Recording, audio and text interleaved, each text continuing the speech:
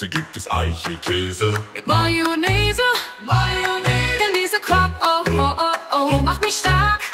Du, du, du, du, so lecker.